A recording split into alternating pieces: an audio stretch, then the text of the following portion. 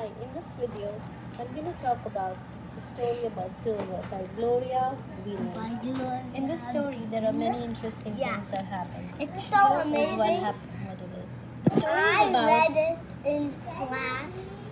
Yeah. So my son, who was a first grader, had to read this book, and uh, it was really fun. So the story is about a girl called Rachel, who's nine year old and dreams of race, racing huskies, just like her father.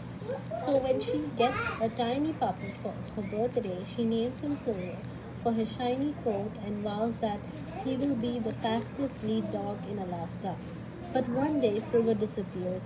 Rachel sets out to find him, following the tracks of a large animal into the forest. Snow begins to fall, and eerie howling breaks the silence. Then Rachel realizes she's tracking a wolf. That she is alone, and the night is falling. So this story is about a boy, girl called Rachel. It's um, really fun. It's about uh, how her life is in Alaska, uh, how it is dark in Alaska when she goes to school and when she comes back to school. From school, it's still dark, and um, her mom is a has a beauty parlor. In her house? in her house? so when she gets back home she goes sits in that room because that room is hot and her mom has cocoa for her customers who she also gives to her daughter. And um, the dad is a dog sled racer uh, during the winter seasons and he's a carpenter in the summer. Uh, and uh,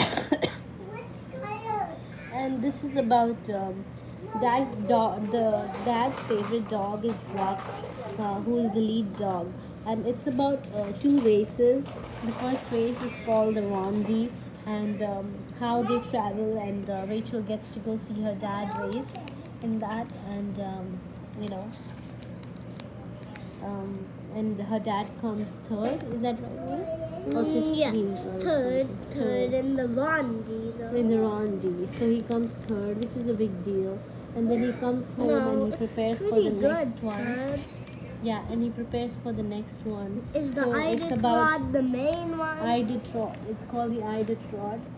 Um, and in that one, it's about how her dad has to go participate in it, and she gets to watch it.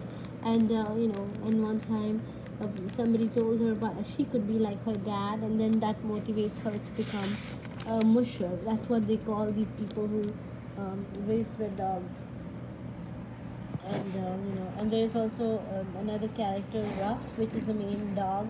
But then Ruff does not participate in those two races because because Ruff is um, Ruff is having puppies. So Ruff is a mother. Is gonna be a mom to like uh, puppies and do away some puppies. And uh, and the surprise here is Rachel's dad actually gives her a puppy. gives her one of the puppies that were um, that uh, came out of uh, Ruff, you know, that were from Ruff.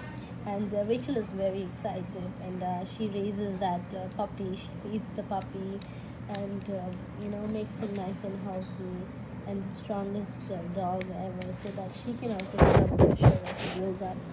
Um, so yeah, that's the story, and uh, definitely a very good thing to read um, for first grade. And a similar story to this is the story about Balto. Balto is actually a real story, and you, if you ever visit the New York City Central Park, there is even a statue of Balto in the park. So, thanks for watching. Do read this book and let us know in the comments below how you found out how interesting the book was.